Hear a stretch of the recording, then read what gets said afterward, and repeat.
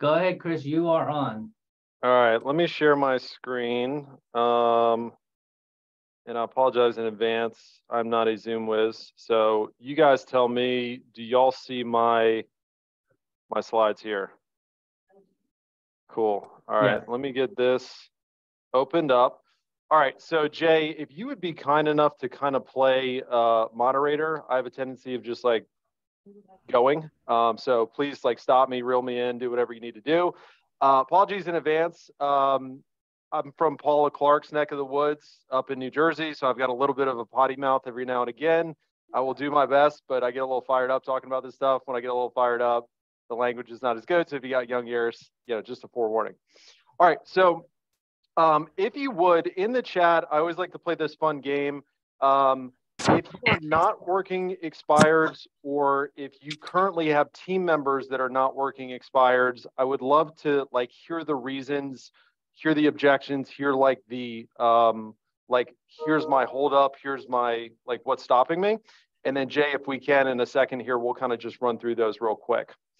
Uh, while you guys are throwing in the chat, my name is Chris Elliott. I service the Metro Richmond, Virginia market. We're in Central Virginia, um, just south of Jay. Uh, we are west of Virginia Beach, and then we are east of uh, the, the rest of the state of Virginia. And that's my social if you guys want to connect after this.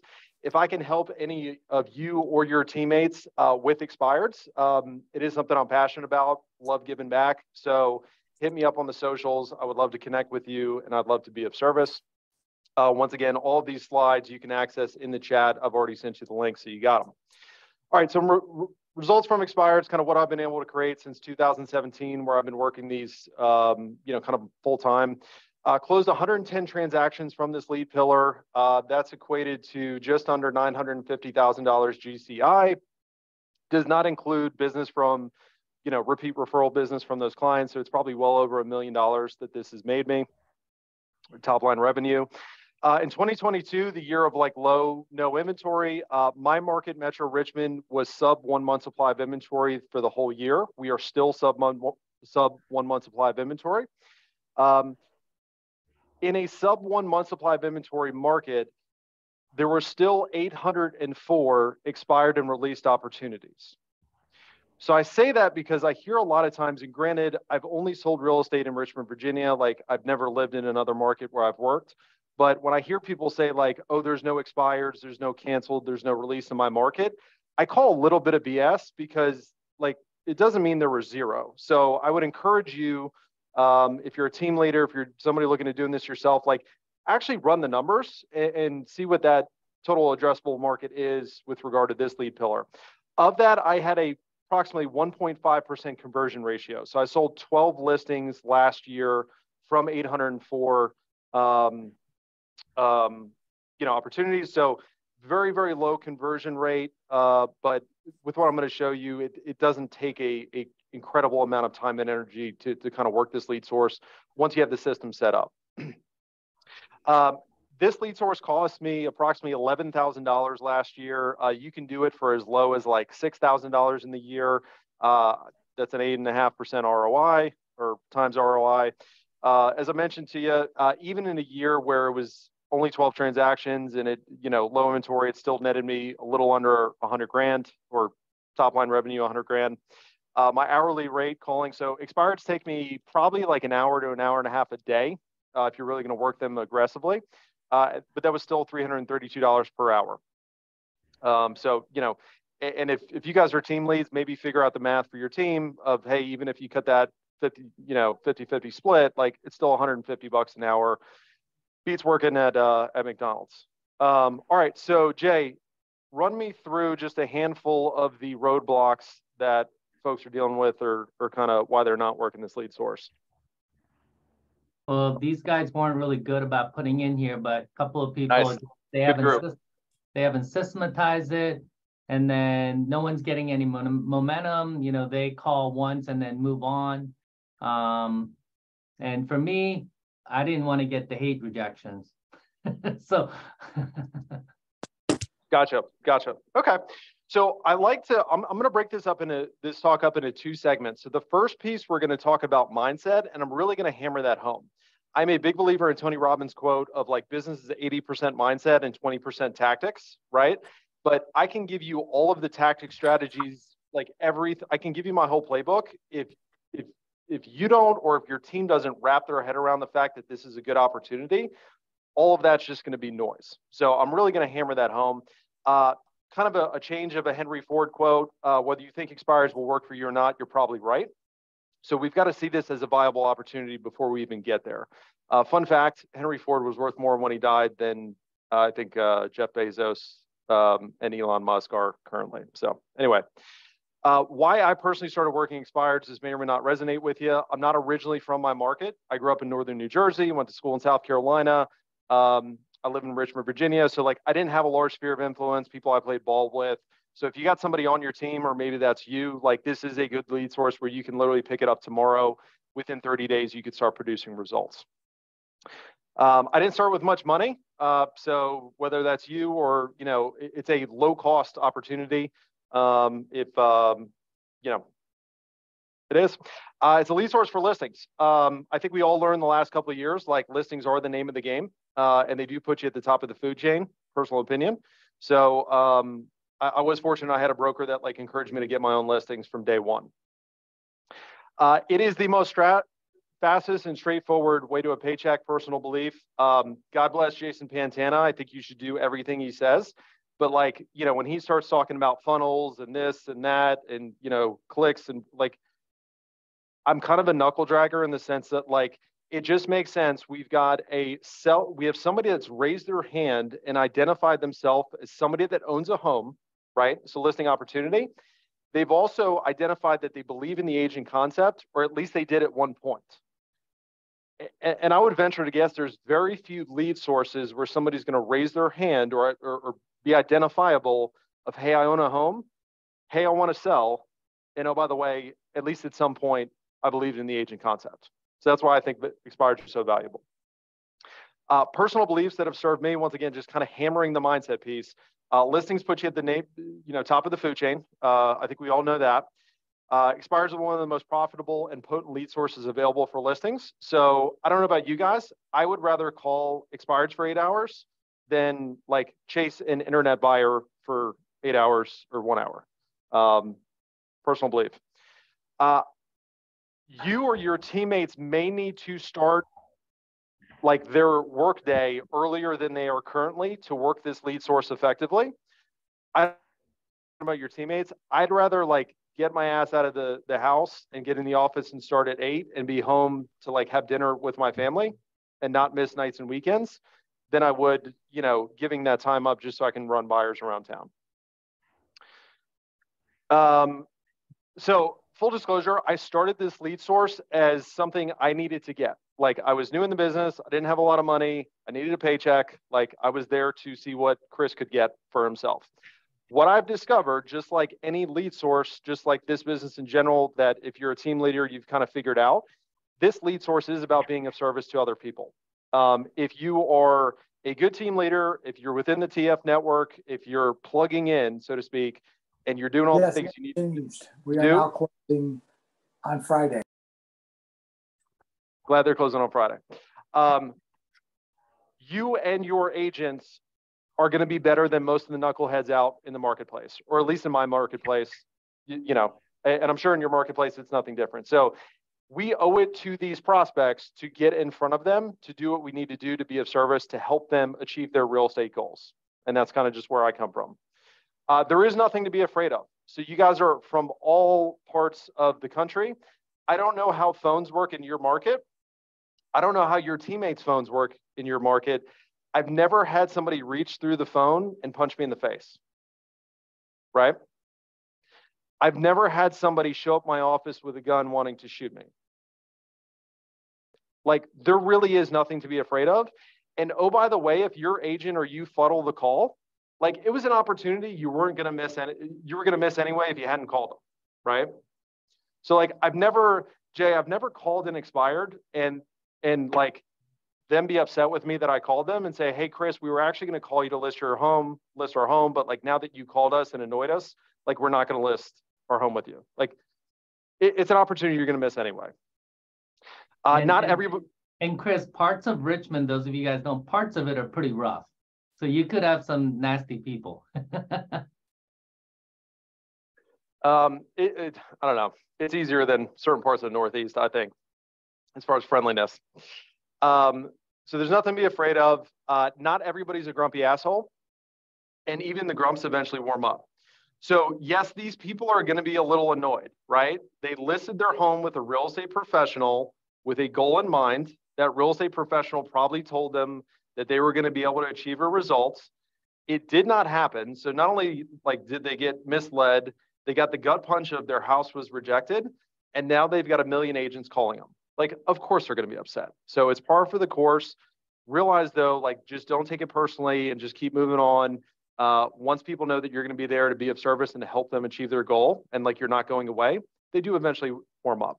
Some of the nicest clients I have are the folks that were expired, and then like we rescued the day. Uh, nobody knows or cares who you are. So I love this one. Like I talk to agents like at conferences, at elite retreat, like, and they're like, but you don't understand. We're in a small town, my reputation, like my brand, like nobody cares. Like get over yourself. Nobody knows who you are. Um, nobody cares. Um, once again, I don't know how things work in your market. Uh, when a listing agreement expires, uh, you don't have a client anymore nor does that agent that lost the listing. So like we're not stealing anybody's clients, right? And oh, by the way, if they've got such a like rock solid relationship with their previous agent, you're not getting the listing anyway, or your your your agents are not getting the listing. So like we need to get over that, like, hey, these are my clients, or those are their clients, or like I don't want to step on, you know, uh, Phyllis's toes or or whoever. Um, I personally believe, whether it's true or not, that I'm one of the better options that folks have in town. And I think we need to all kind of personally believe that of ourselves. We need to get our agents believing that as well. Because when you have that conviction of, hey, I know I can get this done for you, I know I have something to offer, you're going to call with a little bit more confidence, a little bit more conviction. Like if I called Jay and I said, hey, Jay, I've got Super Bowl tickets, something came up, I can't make it. Do you want these tickets? If Jay gets mad at me and says, Chris, you, you know, you piece of whatever, you know I'm a soccer fan. Like, why would you even call me with with football tickets? That doesn't make the Super Bowl tickets less any less valuable, right? Like the, the problems with Jay, not with with you know the, the offer. So and, and kind of roundabout way of saying like when you know you have something of value to offer, like you're able to make more calls and kind of the rejection just falls off your back. Um, I have found in my market, once again, I don't know your market, I'm really only competing against five to 10 agents at any given time. Okay. Expireds, like a lot of lead sources, is one of those things where people will kind of like be a flash in the pan and then they'll give up because they realize it's hard, it's work, it's something you have to actually have to master. It's not just like something you show up and like all of a sudden you're you're printing printing money. So there's only about five to 10 players that are somewhat consistently calling. Uh, and then of those, there's really only like two players in my market that I'm going against. And the cool thing is like once you realize how to beat those two players and what their weaknesses are, like it really starts getting fun. Uh, if you lead generate, you don't have to tolerate. So like one of my favorite quotes from the late great Bill Pipes, uh, if you are willing as an agent, as a team leader to go out and generate your own leads, you're in the driver's seat of your future you are no longer beholden to these lead generation companies, be it Zillow, be it Realtor, be it like whatever new flash in the pan, hoobiedoobie.com, right? If you're willing to go out there and generate these opportunities on your own, you're in the driver's seat. Any questions so far? I know I've been like talking a mile a minute. Love the mindset. This is awesome. Beautiful, beautiful. All right, what we need to get started, uh, the basics. You need a computer, you need Wi-Fi, you need a cell phone. Hopefully everybody checks those three boxes. Uh, the real big thing that we need to, to really get started is some sort of data subscription where we can get these expired leads fed to us uh, on a daily basis, okay? So if you are a team leader, it is not worth your time to like try to figure this out manually, right? Um, if you've got some agents that really want to bootstrap it, like sure, yes, you can just look on the MLS. Like when I started, I couldn't even afford the data subscription. I would literally just show up at somebody's house, knock on the front door. So like that's an option if you really want to bootstrap it. But I would say if we want to do this, it's somewhat scalability. Uh, we need a data subscription. from what I understand, Vulcan 7 is the Cadillac. Um, so I recommend there, but I have heard that like different markets, different data subscriptions are better or worse. Um, but Vulcan, from what I understand, is is is the Cadillac. Uh, the ROI is so off the charts on this lead source.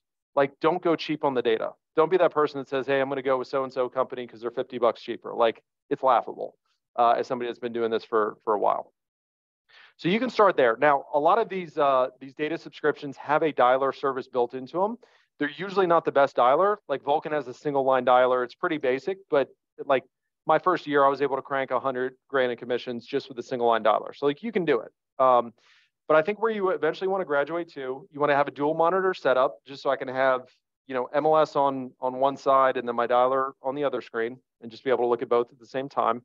Uh, we want to invest in a decent headset. I've got a Jabra like $300 deal, Bluetooth.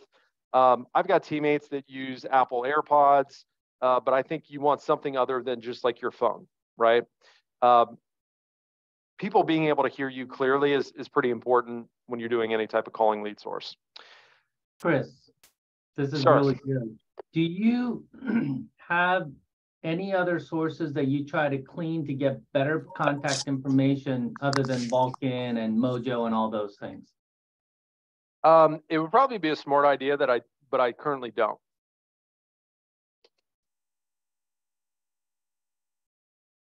Uh, one thing I'll add to that, Chris, if I may, Jay. Mm-hmm. Um, one thing I was doing with expires, and I'm going to start doing it again. Uh, in the MLS, you can map out expires by area.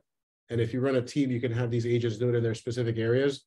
Pull out all the expired inventory, select and map tool, print the map, and hand it to an agent to go in person. So if it's in their town, they can easily map 10, 15 properties that have expired over the last 30 days that haven't been relisted. And that's a good opportunity to go in person. We all know in person, obviously, uh, there is a chance, uh, Chris, they can punch you in the face, but it's less likely, right? If you're if you're dressed apart and and obviously you have a good door opener and a professional uh, appearance and message, right?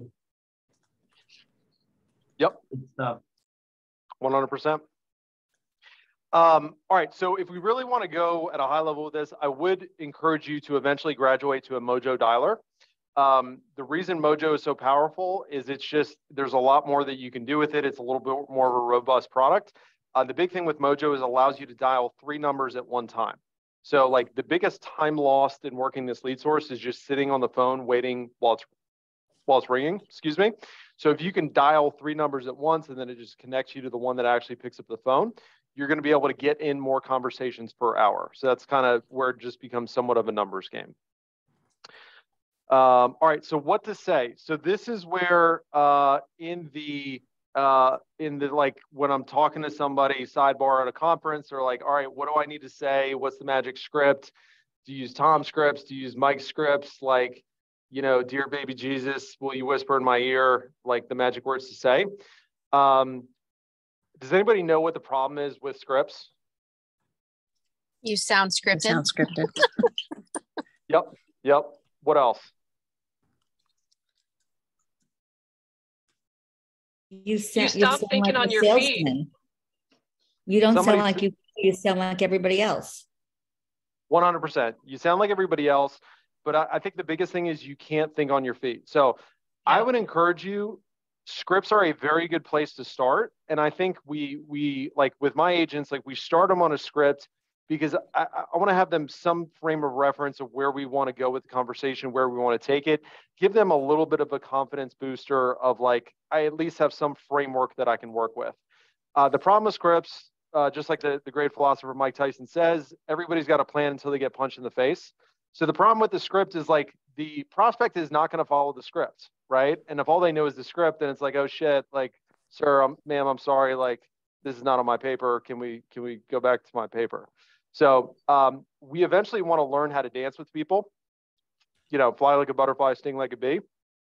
Um, and that's going to take practice. That's going to take time. That's going to take repetitions, right? This is like where the mastery aspect comes into play here. So there is no magic script. You got to learn how to dance with prospects. Um, the cool thing is, just like anything else, you're only going to get but so many objections, right? This is like super old school stuff, right? There's only so many objections that you're going to get. So Is the more that, um, hopefully we're not bothering them. Uh, the more we can learn those scripts and master them or get our agents to master them, the more confidence that they're going to have when they go out there and the more opportunities they're going to be able to create from the same amount of conversations. I personally only have two goals uh, on any single phone call. Number one, I want to determine if this is an opportunity worth pursuing, right? So not every not every prospect you get on the phone is going to be worth pursuing. If like their mom is the real estate agent or like their best friend is their sorority sister who is also their agent and like they don't want to hear what you have to say honestly that's a tree that i don't think is worth climbing personally. I've just done enough of these where like it's just there's no opportunity. So i, I think a lot of people give up on leads way too soon but I, i've just found like there, there are some leads where it's just a, it's a dead end and you're better off just moving on. But from there i'm trying to set an appointment and there's like multiple different ways you could do it. Like but I, i'm just trying to figure out what angle i can take to set an appointment. So like i kind of joke i'm like seal team six when they were going to kill bin laden like we'll climb over the fence we'll come in the helicopter we'll like crash the helicopter we'll go on the top like whatever we need to do to like smoke them like we're putting them in the ground so and that's how i look at like a phone call of like whatever I need to do to get an appointment, like within moral, legal, and ethical bounds, like th- that that's the end goal. That's the mission is to book an appointment. I'm not trying to like sell them all my services on the phone. I'm not trying to explain everything on the phone. I'm not like running comps with them on the phone. I'm I'm trying to figure out a reason, excuse, uh, some so, some sort of something where it makes sense for us to get together either in person or on a video call. A uh, couple pro tips, repeat and affirm. So this is something, you know, simple sales stuff that we all know, but just repeating back to them what they say and affirming. Um, one of the things that I see a lot of like newer agents that are calling is like they try to convince people that they're smarter than them or that they have the wrong answer, like they are they have the superior knowledge or whatever. Um, good luck with that phone call, right? If you you got to be agreeable, you got to like as dumb as their idea is, like you've got to not make them feel like they've got a dumb idea um, on the phone. And affirming helps with that.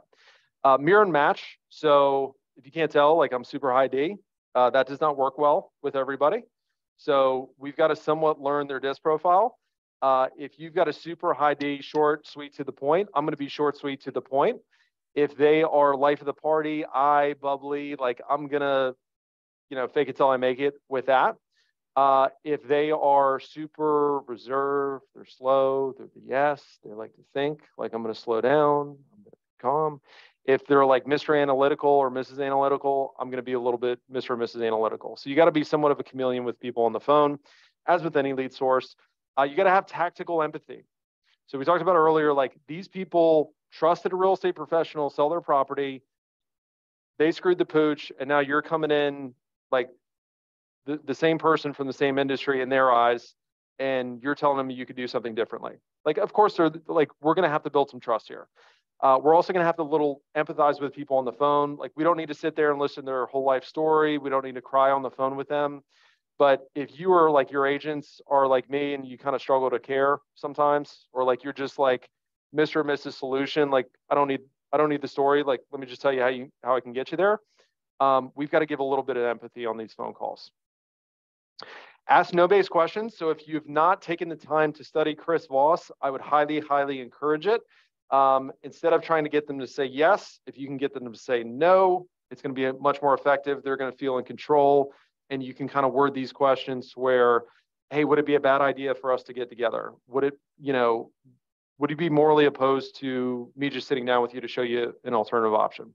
So those same sales questions that you would, you know, pose, if you can kind of frame them in no base questions, uh, you're going to get a little farther with these folks. And last but certainly not least, don't settle for the brush off. So if they tell you, hey, I'm going to call you back, send me an email, shoot me a text, put something in the mail, like the trap that is very easy to fall into is like, oh, I'm going to send them this super cool, slick high note, and they're going to be so uber impressed with my high note and my video and my marketing piece that I spend too much time on, like they're they're gonna call me back most definitely, or like they're definitely gonna talk to their spouse and get back to me. Like good luck, you know. Uh, I, I would say very very few percentage are gonna do that. So if they say, hey, like you know, I got to check with my wife and see when we're available. Hey, tell me like when are you guys typically available? Like, does your schedule change every day, or do you guys somewhat follow somewhat of a schedule? Or hey, I can certainly send you an email, ma'am, sir. It's going to be a little boilerplate in nature. Just it's going to be somewhat generic. Um, I, would really love the opportunity to sit down with you though, just so I can customize that for you, or, or show you a, a specific game plan for your property of what we can do differently. So if you don't get an appointment on the phone, your likelihood of getting an appointment subsequent or them coming back to you is going to be uh, super slim. Any questions so far? I have cool. a couple quick questions. Yes, ma'am. Um, this is Mariah from Chico.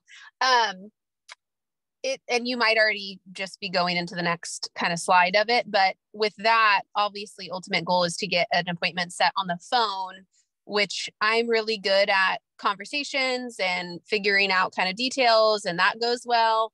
Um, my question is if you don't get it, then what? Like, what is the follow up method? How often are you supposed to call them back? Are you sending them things once a week? Like, that's what I'm really hoping for because I'm feel like I'm good phones. I just need to know, okay, what's next? I need to get better on phones, obviously, to get the appointment set that day. But if you can't, then what? What would be the next best step? Absolutely. I got you covered. If you don't mind, I'll cover that in like two slides. Perfect. Yeah. Thank you. Beautiful. Beautiful. Anything else before I move? Keep moving.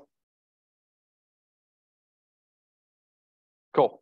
All right, so I'll give you my opener. This is pretty much the only thing that stays consistent on every single phone call.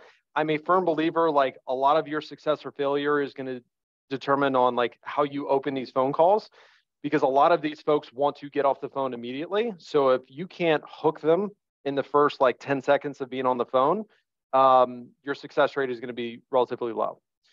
So my opener. Uh, good morning, ma'am, sir. I'm in the South. Uh, my name is Chris Elliott. I was calling looking for the owner of the property at insert address. Is that you by chance? So uh, good morning, ma'am, sir.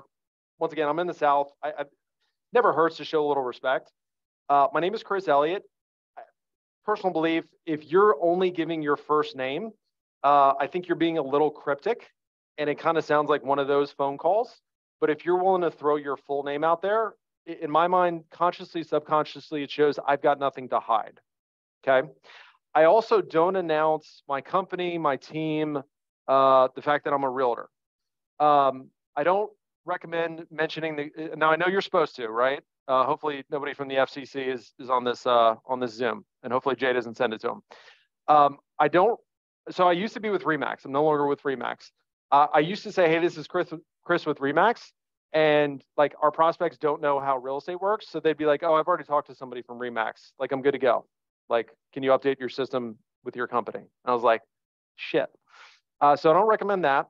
Uh, nobody knows who our team is. Like, as cool as we think we are, as much of a brand as we think we are, we have. Like, most prospects don't know what our team name is.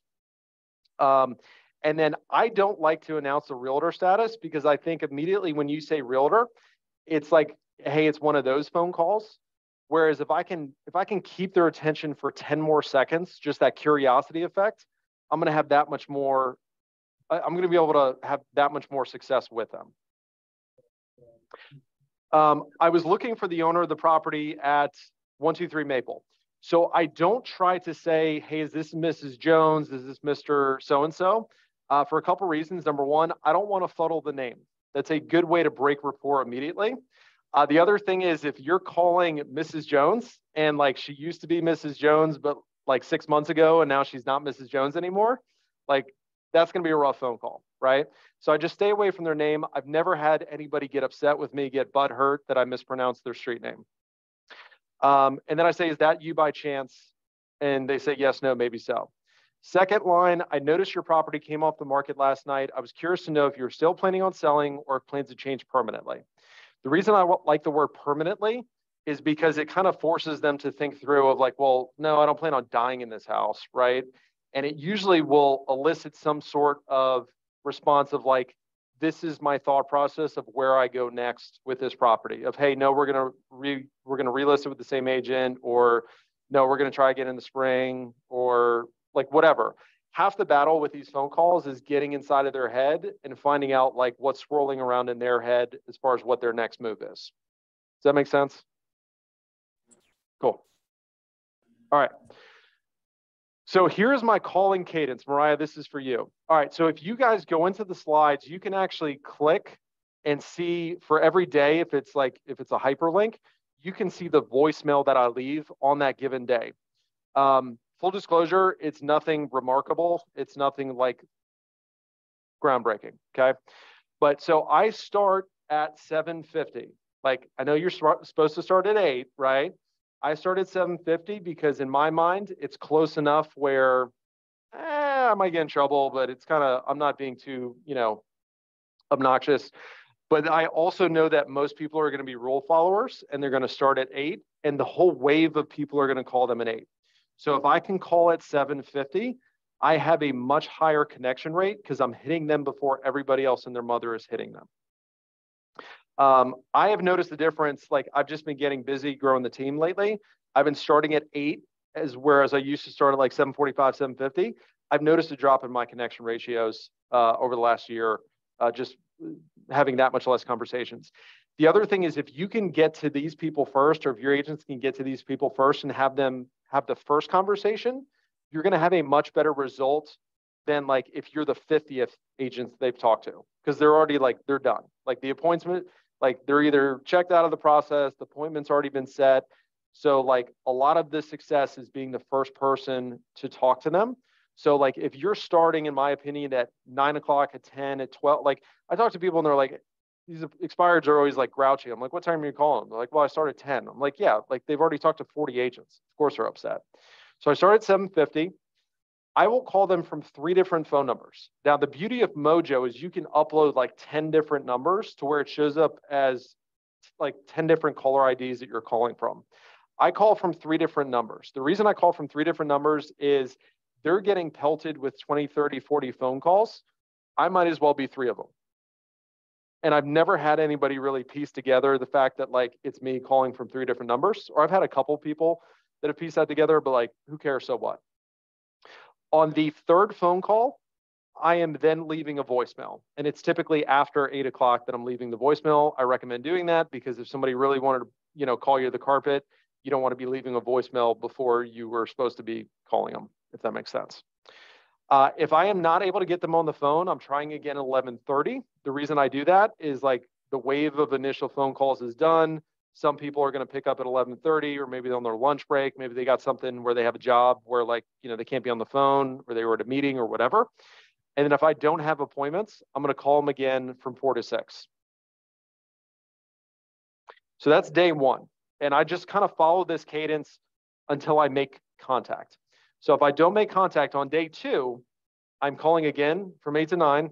I'm calling again 11:30 and then I'm going to call in again from four to six if I don't have appointments. And I'm following this cadence all the way through day seven. Chris, is this for the new expireds? This is for new expireds. Yeah. So I am fairly aggressive days one through seven because a lot of these folks that expire, they're either going to, I would say anywhere from 50 to 75% that are going to relist are going to relist, um, you know, couple months down the road. But there is that 25 to 50% that's going to relist, you know, in the next two weeks. So I want the opportunity to get in front of them. If I can't get them on the phone, I'm not getting in front of them. If I'm not getting in front of them, I'm not getting the listing. So we got to be super aggressive getting in front of these people. It's going to piss people off that aren't interested in talking to you or not interested in relisting. But the folks that are interested in talking to an agent and do want to relist, like they're going to appreciate it or maybe they don't appreciate it, but like you're going to get that opportunity and you have an opportunity to convert it to, to an appointment. If I don't get a hold of them day seven or within that seven day period, I'm then going to call them at day 21. If I can't get a hold of them day 21, I'm going to call them day 60. If I don't get a hold of them day 60, I am then going to call them every 30 days um, for the first year. Okay. And then after that, they go into a 90 day bucket where I call them literally every single 90 days until like I retire, they sell, or they die. And if they die, figure out who the executor is and start following up the estate. Now here's the here's the trick, here's like the secret sauce. You've got to build this out in some sort of action plan, which you can do in Mojo to where new lead comes in, you hit go, or like you have a Zapier that automatically hits go, and it literally just builds it out to where your agents just have to show up, clean their plate every day. So like I gotta show up, I gotta make all my day one calls, I gotta make all my day two, my day threes, my day four, my day fives, my day six. And you're not having to show up and think through like where the where's this person in the process? What like the, the magic is in the consistency and the persist in the persistency, if that's a word. So I would encourage you, if you really want to attack this, you got to build this out to to where it's systematic, to where literally your job every day is to just show up and make your calls, do your tasks, do what you're supposed to do, which I know you've heard before. Um, also, too, the, the beautiful thing about Mojo, you can pre-record the voicemails. So, like, what you'll find is like basically what we're doing is we're thinking through like what voicemail makes sense on day one, what voicemail makes sense on day two, day three, day four, day seven, what's the messaging on day 21, day 60, and then into infinity, right? So there's all an example of what one of those voicemails sounds like. Day one, hey, this is Chris Elliott over at the Elliott Real Estate Team. I noticed your property came off the market. I just had a quick question. Uh, if you don't mind, give me a call back. And then like day three or four is, hey, I know I'm being a little aggressive with you. I, I, would imagine you wish your, your previous agent was a little aggressive, is a little bit more aggressive in getting your property sold. If you'd like to chat, I'd love to talk to you. Give me a call. Day 21, hey, I hope the phone calls have died down by now hey, I'm, I'm still here, still willing to help if, if you need any service. Um, give me a call if I could be of any service, or if you just like to see, you know, kind of what that looks like. You know, day 365 and beyond, hey, I noticed when your home came off the market a while back, just curious to see if you've had any more thoughts of selling, or if you just be curious to know um, what your property is worth in today's market. So if you're on this call, you guys are all smart people. It's literally just taking the time, slowing down and stopping and thinking like, what makes sense to say depending on where they are in the process. Um, and if you want, you could just listen to my voicemails and re-record them and kind of make it your own type thing. Chris, have you, as you gotten busy, have you ever handed this off to an ISA to do some of it? I am like right at that cusp of I'm I'm realizing I'm not able to keep up with it. But I will say, Jay, this takes me like an hour a day like once you have it built out, you figured out Mojo, like it doesn't take a long time, right? Because like the calls, like the like the the day one through sevens, I can burn through in like 30 minutes typically. You know, more time if there's if there's a lot of expires that day, if it's the first day of the month. And then the subsequent calls, you know, uh, throughout the day take me like 15 minutes a pop. So it's it's not a whole lot of time. Right. And especially if you got agents on your team, like with the market slowing down, I, I would imagine they've got the time. Uh, all right, so that's my cadence if I haven't made contact. Once I've made contact, leads go into several different buckets depending on the conversation. So if they are going to sell in six months or less, I will then move them over to my CRM. And I, I just follow up very specifically based on whatever. Like if they tell me, hey, we're going to do something in three months, I'm calling them in 45 days. If they tell me they're doing something in three months, I'm going to check in. Um, or if they say they're going to do something in six months, I'm checking in at the three month mark. Hey, I know we're, we're still three months out, but you know, whatever. Um, if it is a F off, I'm not selling anymore, or it's beyond the six month, I am then putting them in a 90 day bucket, which you can build out in Mojo and you can build a 90 day action plan where literally it will just the system will prompt me to call them every single 90 days until the end of time. And I'll just keep following up. I've made a lot of money with like the long-term follow-up. So you got to call a lot of people, but it's it's been profitable for me. Um, if they've rented the property, oh God, what did I do? That's a voicemail. Okay. If they've rented the property, I'm going to put them in a 90 day uh, rented uh, bucket, uh, just because the voicemail is a little bit different. The conversation and the messaging is a little bit different if it's a rental property versus an owner occupant. Uh, I did start because eventually I started getting bogged down with the 90 day calls. So if they're like super low motivation, super far out, I'll move in into a 180 day bucket. Uh, as I mentioned, these buckets run on automatic action plans. Uh, always, always, always get an email address. Uh, Homebot, if you're not using it, is very good. Figure out an excuse to get their email address. Uh, if you are not already sending a weekly email newsletter with videos, I think you're missing the boat. Um, I have seen where we've gotten folks that have reached out to us from our emails. I've noticed where like the conversation becomes very different because I've established authority, I've established rapport through the weekly email and through the videos. So always, always, always try to get emails. And then if you're not like putting these people into custom audiences in Google and Facebook and running retargeting ads with the videos that you're supposed to be creating, um, I think you're missing the boat. And it's very, very effective to be able to stay in front of these people. And it's super, super cheap.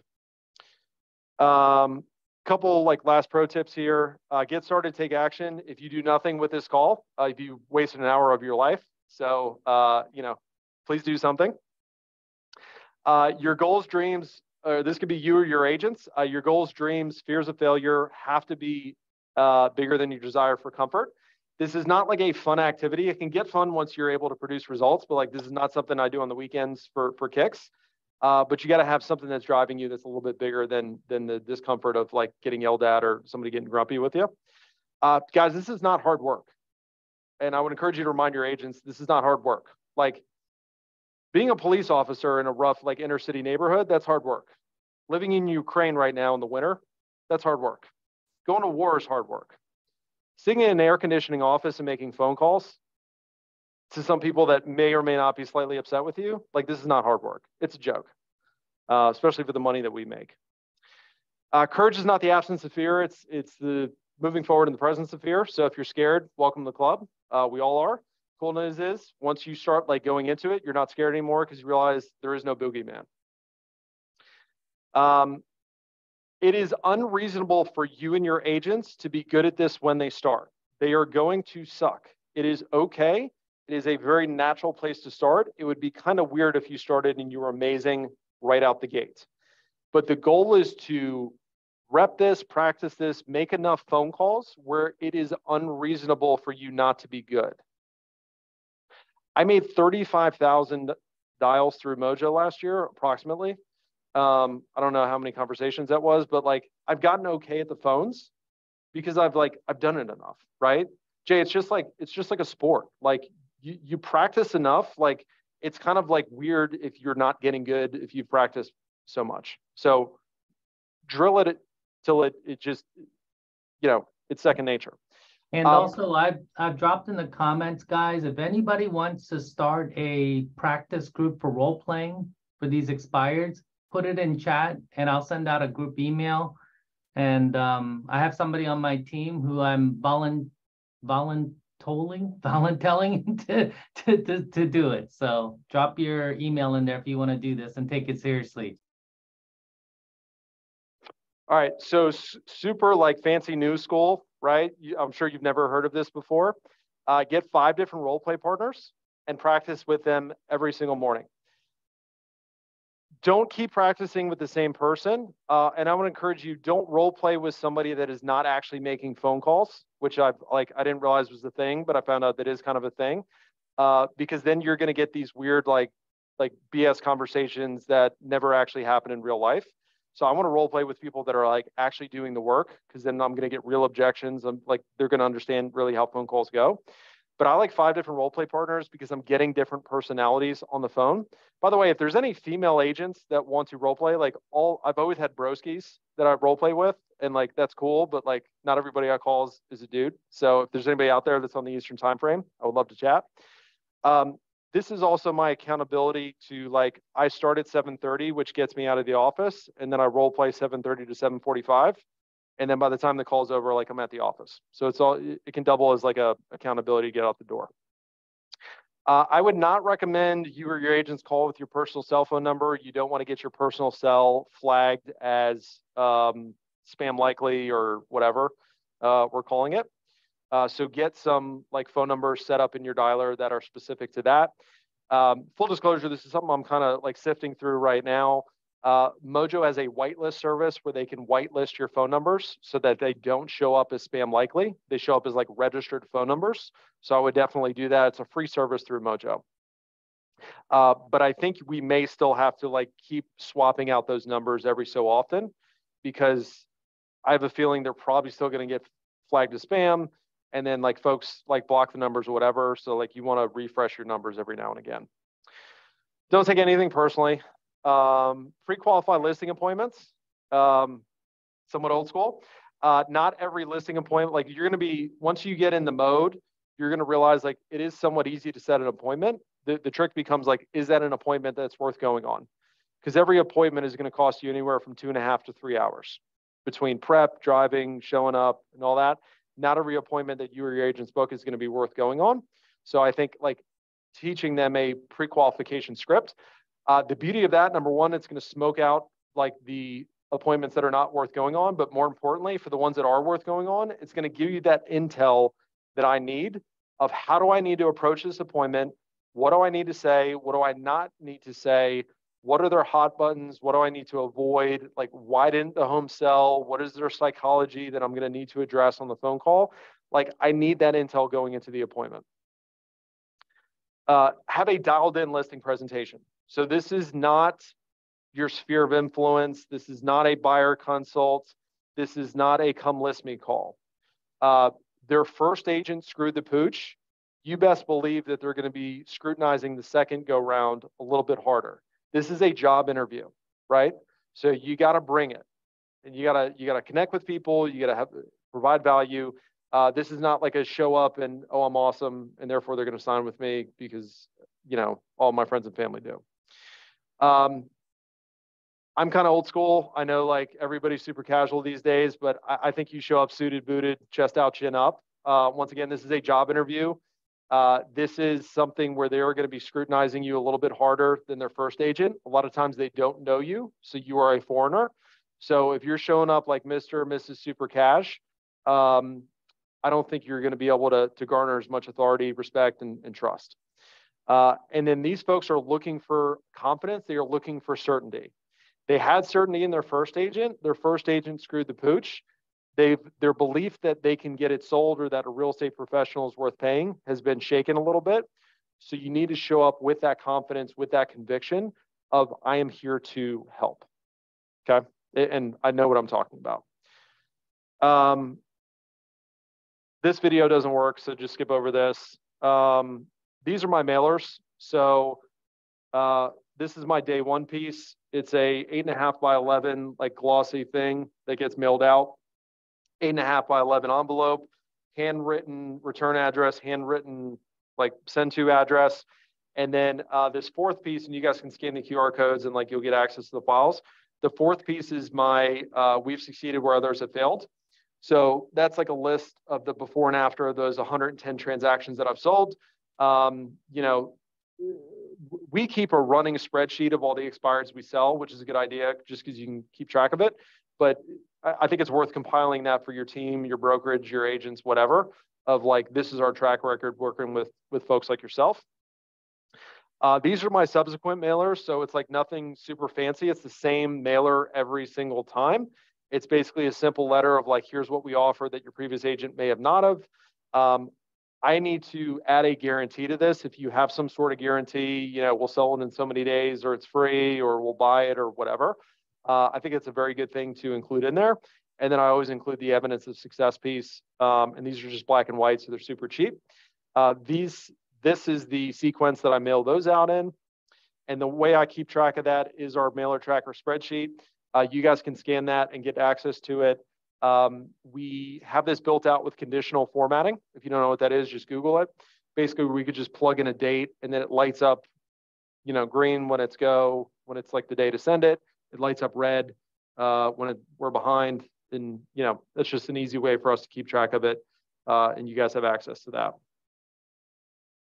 Questions, concerns, thoughts, fears? Let's open it up to questions in the last five minutes here. Thank you. This has been amazing so far.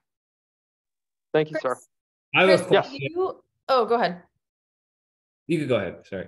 Uh, I was gonna say, Chris, do you use the same system with the day one, two, three, four expireds that maybe are a little bit older? Same process? Do you change it?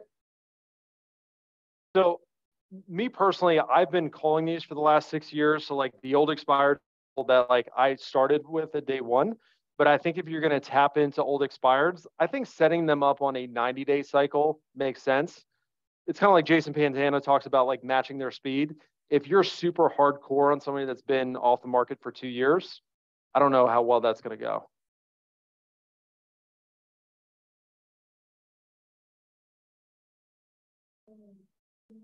Hey, well, Go ahead, Danny. yeah, so I have a question. Uh, just wondering, because I, I didn't catch uh earlier on, what, what, so you use Vulcan and then you add on Mojo or you use just Mojo? Uh, both. So Vulcan is a data provider. Uh, they have a dialer component, but it's pretty elementary. So I've got Vulcan for my data. I've got Mojo for my dialer. You can sync the two very easily. So that way the fresh the fresh Vulcan data, like the new expireds, they just automatically feed into my Mojo um, every morning. So you automated that. It, it, it, does it for you. It's not like you just like literally sync the two, kind of like a, an API integration, and then it just auto feeds. What you're going to have to build out for your team or yourself is the action plans in Mojo, and then just kind of like figure out if you got multiple people. One thing, full disclosure, I'm trying to figure out right now is how do we have multiple people working the same leads? I don't think there's a good way to do that in Mojo, so I'm trying to figure out a workaround.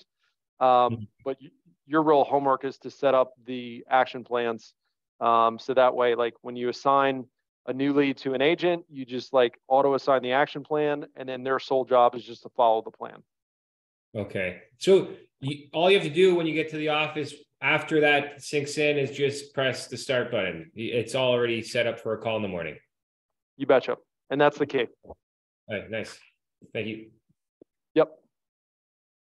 So Chris, are you recording your calls as well so you can kind of um, go back and listen or or for the agents who are maybe starting where the calls are recorded, they may have fumbled it or may or may not have known what to say exactly and are you reviewing those with your agents to help them grow and become better? Hey, you should have said this.